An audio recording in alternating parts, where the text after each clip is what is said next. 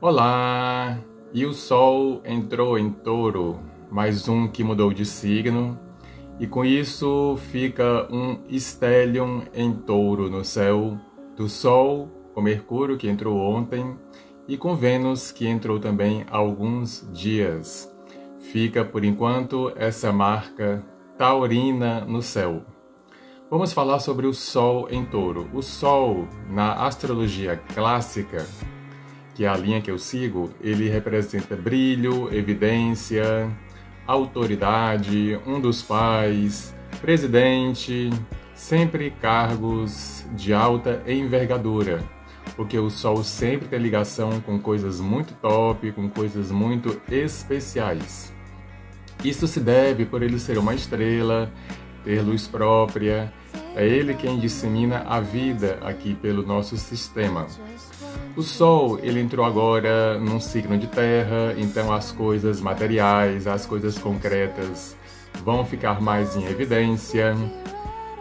O Sol entrou num signo que tem como qualidade fixa.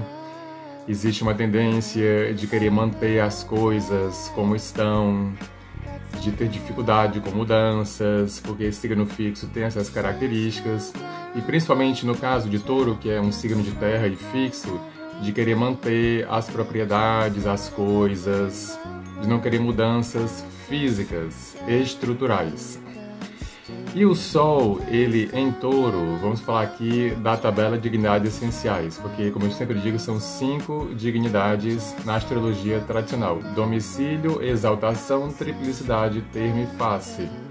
O Sol, quando ele fica em touro, vou até ver aqui, ele fica dando três dignidades para Vênus, o pequeno benéfico: domicílio, triplicidade e termo.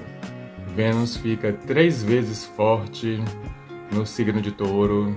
Então é um momento em que Vênus reina no céu, já está domiciliada no signo de Touro, em que fica mais forte.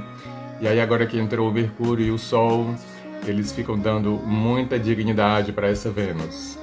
Então o Sol, ele fica muito voltado para Vênus. É um Sol que se volta mais para a questão dos relacionamentos, principalmente os afetivos, para questões mais concretas, para questões financeiras, porque Touro fala sobre essas questões. Um Sol também que fica mais voltado para questões ligadas ao próprio corpo, à aparência, porque o elemento Terra e principalmente Touro, regido por Vênus, tem essas características. O Sol em Touro também, ele fica dando deixa eu ver aqui, a, está na exaltação da Lua. Então, os planetas femininos, Vênus e Lua, ficam muito fortes quando o Sol entra em touro, porque ele dá o tom assim naquele período, o Sol por ser a estrela. Então, o feminino está no ar, o feminismo está no ar. E feminismo, para quem ainda confunde, é igualdade de gêneros questões ligadas à maternidade, à mãe, à família, que são coisas ligadas à lua. Alimentação também, todo já tem ligação com essas coisas e a lua reforça mais ainda. Então é um bom período, já que não podemos sair muito de casa, de fazer comidas gostosas, sobremesas, os prazeres sensoriais. Touro é muito ligado a isso.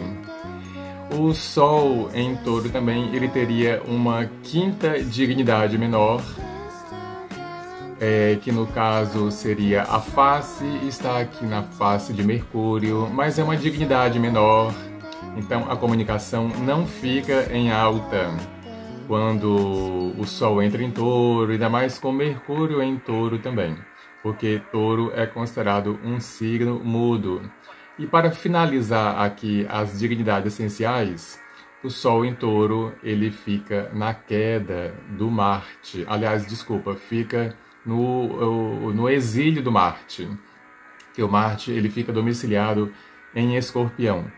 Então, o, o, guerreiro que já está se preparando para entrar em Câncer, um signo que não fica muito bom, e também regido pela Lua que está exaltada em Touro, é, questões ligadas a Marte, como empreendedorismo, coragem e outras coisas mais que já sabemos, não ficam muito em alta no signo de touro. O Marte não fica forte nesse signo. É um signo mais pacífico, mas que também tem o seu lado marciano aí. Então, essas questões de Marte, de empreendedorismo, de se lançar no desconhecido, é, de, de desentendimentos, eles se voltam mais para questões materiais, concretas, e perde mais a força nesse período aqui.